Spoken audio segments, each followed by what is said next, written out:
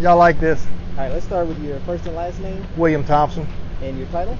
Uh, I'm Chief of Police Brandon. And, oh, spell it for me. Spell it.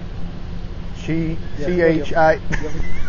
W I L L I A M T H O M P S O N.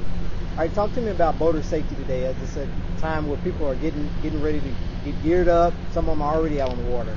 Uh, you can just tell by the number of people here at the ramp already. The, the water's got a lot of folks on it, and also you can see by the flags jumping around and the waves out here. We got wind today, so uh, and what most folks like to do on Fourth of July is have a drink. Uh, this isn't the place to do it if you're driving a boat. This is even more dangerous than driving a car. Uh, there's no brakes on a boat. I mean, you can't just stomp on a brake and a boat stops. So, uh, drinking and driving a boat is will get you put in jail really, really quick. And so, what are some some things that people can do to practice uh, safety?